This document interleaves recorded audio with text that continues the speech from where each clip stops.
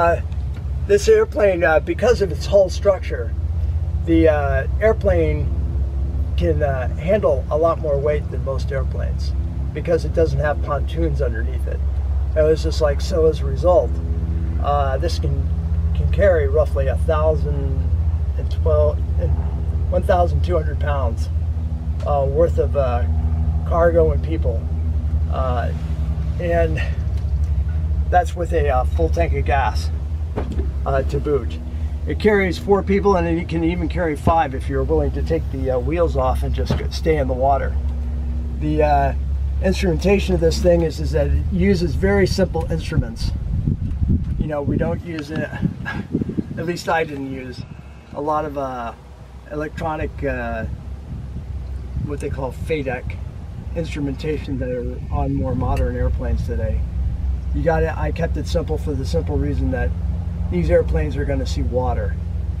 And water can really affect your instrumentation if you're you know if everything is not working for you just right. So it's like uh, you got to make sure that uh, you know the simple stuff works just as good as the advanced stuff without the shorting of wires and all that other uh, business that goes into that.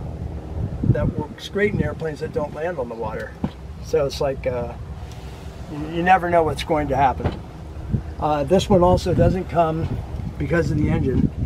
Usually you have a third knob that uh, basically uh, monitors your fuel uh, into the engine and whether it's rich enough or lean enough to be able to go where do anything. The engine does it automatically in this computer through a computer system that sits in the back of the airplane.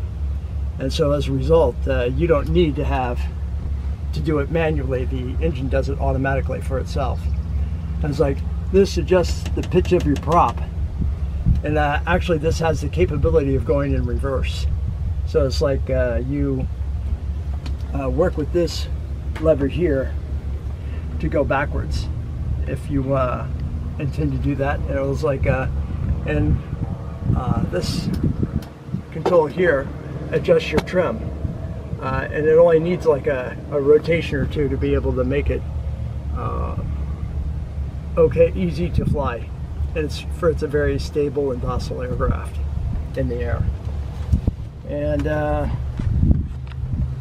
what's unusual about this is also is that the hydraulic system uses one little tank, and uh, this this handle is the power that runs the hydraulic pump and allows you to bring the gear up and down and move the flaps up and down by just simply making a few changes to the switches.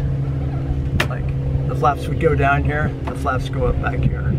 So it's a uh, very uh, simple, elegant design that lasts forever and ever. So, so that's what you're looking for in aviation.